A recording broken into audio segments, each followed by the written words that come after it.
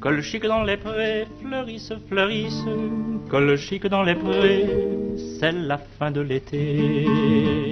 La feuille d'automne emportée par le vent, en ronde monotone, tombe en tourbillonnant. Bien que nous soyons encore en été, soit le 27 août, la colchique d'automne est déjà présente sur les bas du côté sud de la colline de Montorge. Décidément, la nature a perdu la boule.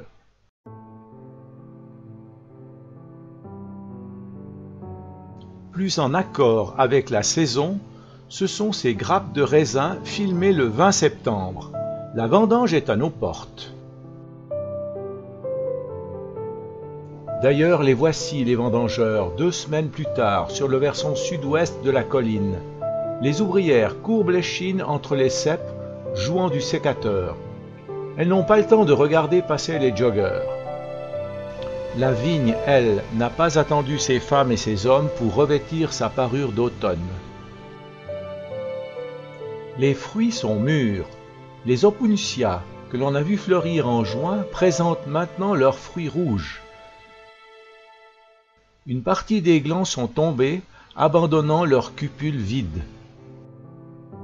La clématis vitalba ou clématite des haies est surtout connue pour ses fleurs blanches.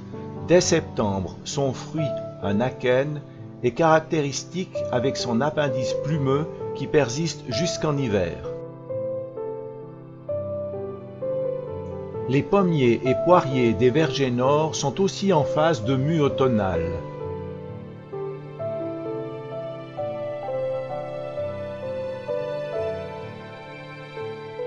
Les buissons flambent